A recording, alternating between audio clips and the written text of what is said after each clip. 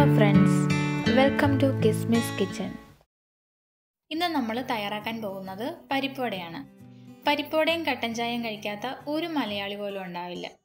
അപ്പോൾ നമുക്ക് എങ്ങനെ നല്ല ക്രിസ്പി ആയിട്ടുള്ള പരിപ്പുവട തയ്യാറാക്കാമെന്ന് നോക്കാം. പരിപ്പുവട തയ്യാറാക്കാനായിട്ട് ഞാനിവിടെ ഒരു കപ്പ് തോരപ്പരിപ്പ് എടുത്തിട്ടുണ്ട് ഇതിന് പകരം കടലപ്പരിപ്പോ അല്ലെങ്കിൽ പീസ് പരിപ്പോ ആയാലും മതി. ഇനി ഇത് നന്നായിട്ട് കഴുകിയിട്ട് ഒരു നാല് മണിക്കൂറെങ്കിലും കുതിർക്കാൻ വയ്ക്കണം ഇപ്പോൾ ഇത് നന്നായി കുതിർന്ന് കിട്ടിയിട്ടുണ്ട്. ഇനി ഇതൊന്ന് അരിച്ചെടുക്കാം. എന്നിട്ട് ഇതിലെ വെള്ളമൊക്കെ നന്നായി വാർന്നു പോയ ശേഷം മാത്രം അരച്ചെടുക്കാം.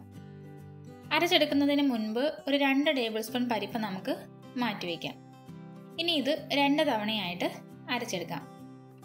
അരയ്ക്കുമ്പോൾ തീരെ പേസ്റ്റ് പോലെ അരച്ചെടുക്കേണ്ടതില്ല. ചെറിയ തരിയോടുകൂടി അരച്ചെടുത്താൽ മതി. അരികിലൊക്കെ പരിപ്പ് ഇതുപോലെ അരയാതിരുന്നാലും കുഴപ്പമില്ല. ഇതുപോലെ തന്നെ നമുക്ക് ബാക്കിയുള്ള പരിപ്പ് കൂടി അരച്ചെടുക്കാം. ഇതിലേക്ക് ചേർക്കാനായി രണ്ട് തണ്ട് കറിവേപ്പില രണ്ട് പച്ചമുളക്. പച്ചമുളക് നിങ്ങളുടെ എരിവിനനുസരിച്ച് ചേർത്താൽ മതി. രണ്ട് ഉണക്കമുളക് ഈ വലിപ്പത്തിലുള്ള ഇഞ്ചി മൂന്ന് ചെറിയ ഉള്ളി ഒരു സവാളയുടെ നാലൊരു ഭാഗം എടുത്തിട്ടുണ്ട്. ഇനി ഇതെല്ലാം ചെറുതായിട്ടൊന്ന് അരിഞ്ഞെടുക്കാം. അരച്ചു വെച്ചിരിക്കുന്ന മാവിലേക്ക് രണ്ട് ടേബിൾ സ്പൂൺ നമ്മൾ മാറ്റി വെച്ചിരിക്കുന്ന പരിപ്പ് ചേർക്കാം. കറിവേപ്പില ചെറുതായി അരിഞ്ഞത് ചേർക്കാം. ചെറുതായിട്ട് അരിഞ്ഞ സവാള ചേർക്കാം. ഇത് കാൽ കപ്പ് സവാളയുണ്ട്. ചെറുതായിട്ട് അരിഞ്ഞ ഉള്ളി ചേർക്കാം. ഇത് കാൽ കപ്പ് ഉള്ളിയുണ്ട്. അരിഞ്ഞ പച്ചമുളക് ചേർക്കാം. ഉണക്കമുളക് ചേർക്കാം. പൊടിയായി നുറുക്കി വെച്ചിരിക്കുന്ന ഇഞ്ചി ചേർക്കാം. ഇത് ഒന്നര ടേബിൾ സ്പൂൺ ഇഞ്ചിയുണ്ട്. അര ടീസ്പൂൺ പെരിഞ്ചീരകം. അല്പം കായപ്പൊടി. കായപ്പൊടി ചേർക്കുമ്പോൾ നമ്മുടെ പരിപ്പൊടിക്ക് നല്ലൊരു മണം ഉണ്ടാവും ആവശ്യത്തിന് ഉപ്പ് അര ടീസ്പൂൺ കാശ്മീരി മുളക് പൊടി. ഇത് ചേർക്കുന്നത് നമ്മുടെ പരിപ്പുവടയ്ക്ക് നല്ലൊരു കളർ കിട്ടാൻ വേണ്ടിയാണ്. പിന്നെ ഈ ഒരു കപ്പ് പരിപ്പ് കൊണ്ട് പരിപ്പുവട തയ്യാറാക്കുമ്പോൾ കാൽ കപ്പ് അരിഞ്ഞ ഉള്ളിയും കാൽ കപ്പ് അരിഞ്ഞ സവാളയും കറക്റ്റ് പാകമാണ്. സവാള കൂടി പോയാൽ നമുക്ക് പരിപ്പുവടയുടെ ആ ഷേപ്പിൽ പരത്തിയെടുക്കാനായിട്ടൊക്കെ ബുദ്ധിമുട്ടാവും.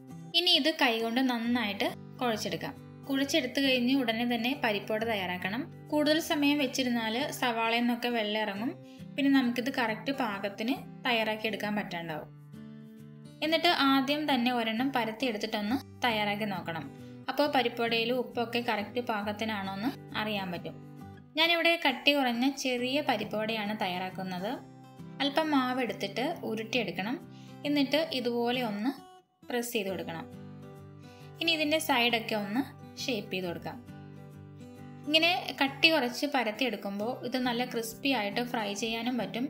ഒരു മൂന്ന് നാല് ദിവസം വരെയൊക്കെ നമുക്കിത് കേടാവാതെ സൂക്ഷിക്കാനും പറ്റും. ഇനി ബാക്കിയുള്ള മാവ് മുഴുവനും പരത്തിയെടുക്കാം.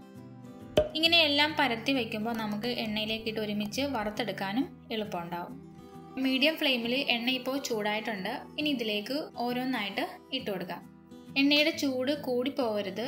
കൂടിപ്പോയാൽ പുറം ഭാഗം പെട്ടെന്ന് തന്നെ കരിയും. ഉള്ളിൽ വേകാതെ ഇരിക്കും. ചൂട് കുറവാണെങ്കിൽ പരിപ്പുവട കൂടുതൽ എണ്ണ കുടിക്കുകയും ചെയ്യും. അതുപോലെ തന്നെ എണ്ണയിലേക്ക് ഇടുമ്പോൾ തന്നെ പൊട്ടിപ്പോകാനും സാധ്യതയുണ്ട്. ഇട്ട ഉടനെ തന്നെ ഇത് തവി കൊണ്ട് ഇളക്കരുത്. കുറച്ച് കഴിയുമ്പോൾ തന്നെ ചെറുതായിട്ട് പൊങ്ങി വരും. അതിനുശേഷം മാത്രം തിരിച്ചും മറിച്ചും ഇട്ട് രണ്ട് സൈഡും നന്നായിട്ട് വറുത്തെടുത്താൽ മതി. ഇപ്പോൾ ഇത് റെഡി ആയിട്ടുണ്ട്. രണ്ട് സൈഡും നല്ല ഗോൾഡൻ കളറായി വന്നിട്ടുണ്ട്. ഇനി ഇത് കോരിയെടുക്കാം. കോരിയെടുത്ത് കഴിഞ്ഞാലും ഇതിന്റെ കളറ് കുറച്ചും കൂടി മാറും.